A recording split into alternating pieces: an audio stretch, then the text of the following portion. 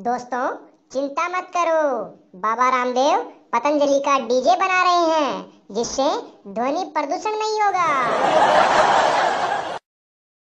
शादी में डीजे वाला अचानक बेहोश हो गया, क्योंकि एक लड़की ने बोला कि, भैया, कोई पतंजलि का गाना लगा दो, जो कानों के लिए लाभदायक हो। बाबा रामदेव से गुजारिश है कि एक पतंजलि गर्लफ्रेंड भी लॉन्च कर दे, जो पिज्जा बर्गर के बजाय आयुर्वेदिक चूर्ण खाती हो। सस्ती पड़ जाएगी।